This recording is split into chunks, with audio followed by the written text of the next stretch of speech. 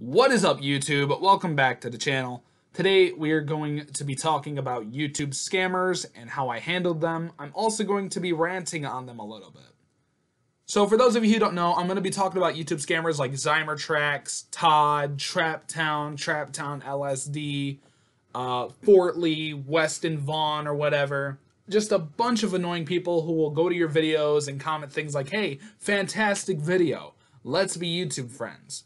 The reason they comment these things is they automatically think that due to the fact they have a lot more subscribers than you, you're going to be like, wow, my first comment on my YouTube channel. You're going to click and be like, holy shit, this guy has a bunch of subscribers. I'm going to subscribe to him. When in reality, a lot of us aren't that stupid, but a lot of us are very much so misguided on this issue where they don't know. And it's kind of pathetic from them knowing that there's a very good chance they have over thousands of subscribers, yet they're still bothering people about this and eventually YouTube is going to bring them down. Although they say a lot that we will win, we will remain, nothing's going to take us down. That's obvious bullshit because spam goes against the community guidelines here on YouTube. So obviously you're gonna fucking go down. Now, I'm gonna talk about how I deal with them before I actually get into the rant. Uh, when I see a comment like this, I immediately jump on it. For example, I will go to my YouTube studio and I will look for the comment. I will click on the channel and I will copy the channel link. Then I will go back to the YouTube studio and I will report that comment for spam and I will block that user or hide them from my channel. Now, the reason I copy their channel is because I go back and I look to see if they have any other channels connected to them. Like on the side where it showcases the channels that are your friends and this and that, they spammers normally have about three on those little sidebars there. So you're going to want to click on those and look for the main source. Like for example, the person that did it to me yesterday was no copyright music or something like that.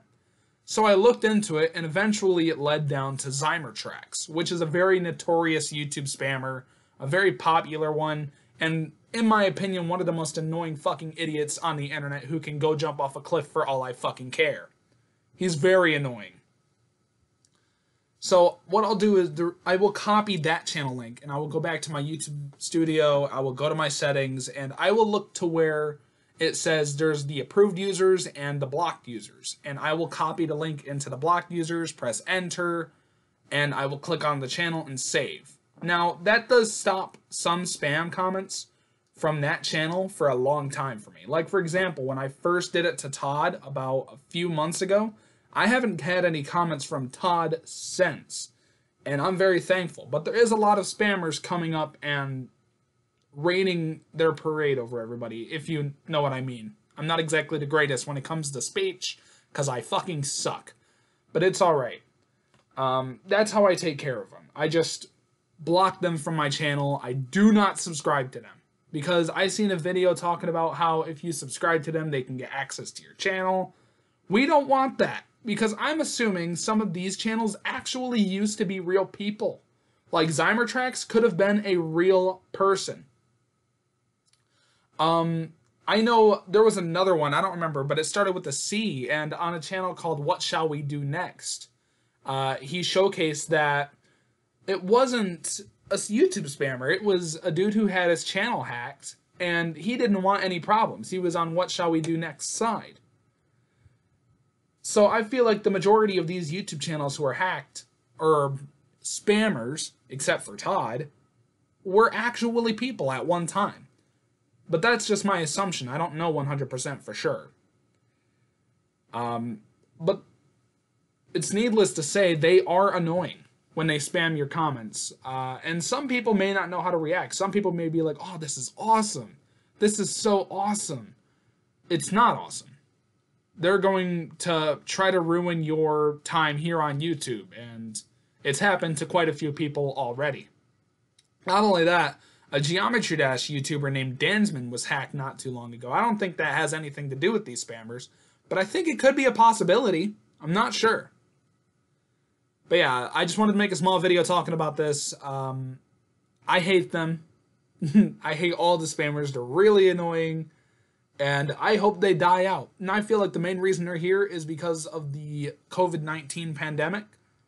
That YouTube isn't like in the studio and this and that. A lot of them are coming out to play. So hopefully YouTube gets on their ass and or gets off their ass and takes care of these stupid fucking spammers. They're really annoying. And I'm not stupid enough to fall for their trick for their tricks or shit. But I'm sure someone else doesn't have any knowledge on them and they're going to fall for it. And no, I'm not calling them stupid. I'm saying that they're lacking any information on these guys, meaning they could just look at it as a really big YouTuber and they're like, holy shit, I'm going to subscribe to you because you have a shit ton of subscribers. So if you're watching this and you got a comment like that, do not give in to it. Honestly, don't do it. It's not worth it. Just ignore them, move on, do your own thing, and do what I said. Just put them in your block list, hide them from their channel or your channel, and report their comments for spam. Now, I'm sorry for my speech in this video. I just woke up not too long ago, and normally in the mornings, I can never fucking talk. You know why? Because I'm retarded. But yeah, this was James. Thanks for watching. I hope you enjoyed. Make sure to subscribe to the channel. It'll help me out, and I would appreciate it. And I will see you all in the next video.